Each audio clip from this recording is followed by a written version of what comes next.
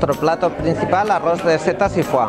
Los ingredientes son setas variadas, eh, foie, arroz, sal, ajos tiernos y magre de pato.